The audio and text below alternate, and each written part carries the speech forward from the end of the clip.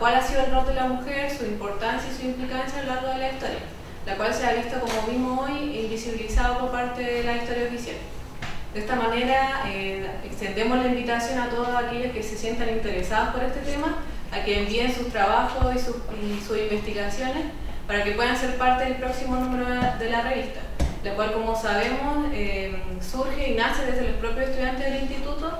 pero eh, es una instancia abierta no solo a los estudiantes de acá, todos los estudiantes de historia a lo largo del país. Así que muchas gracias por estar acá.